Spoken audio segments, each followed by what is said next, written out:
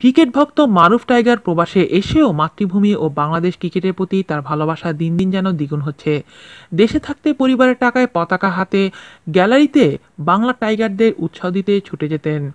মারুফ tiger প্রবাসে নিজের কষ্টে অর্জিত পরিবারের খরচের টাকা থেকে বাঁচিয়ে ছুটে গেলেন কুয়েত থেকে দুবাই অনুষ্ঠিত এশিয়া কাপে মাঠে মাশরাফি ও বাংলাদেশ ক্রিকেট টিমকে সাপোর্ট দিতে।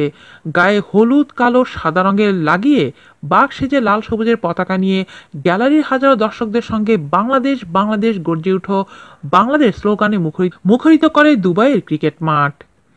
গ্যালারি থেকে বাঘের হুঙ্কার তুলে অনুপ্রাণিত করে বিপক্ষ দল থেকে জয় ছিনিয়ে নিয়ে কোটি বাঙালি মুখে হাসি ফুটিয়ে দিতে চট্টগ্রামের মিরসরাই উপজেলার মায়ানী ইউনিয়নের হাজি তাহের আহমদ ভুইয়া ছেলে খায়রুল ইসলাম মারুফ।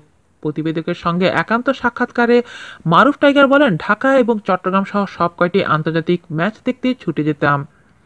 দু হাজার ষোলো সালে ফেব্রুয়ারিতে অনুষ্ঠিত টি টোয়েন্টি বিশ্বকাপের সময় পরীক্ষার টাকা দিয়ে ছুটে যায় ভারতের গ্যালারি থেকে বাংলা টাইগারদের উৎসাহ ও অনুপ্রাণিত করতে। ক্রিকেট পাগল মারুফ টাইগার স্পন্সর না পাওয়ায় পরিবারের চাপে মরুর দেশ কুয়েতে চলে আসে।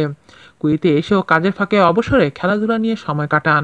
বর্তমানে সেই মিরসরাই সমিতির কুয়েতের ক্রিয়া সম্পাদকের দায়িত্ব পালন করছেন। দর্শকদের উৎসাহ ভালোবাসা দিতেই কুয়েত থেকে আমার দুবাই আসা বলে জানান এই ক্রিকেট প্রেমী মারুফ।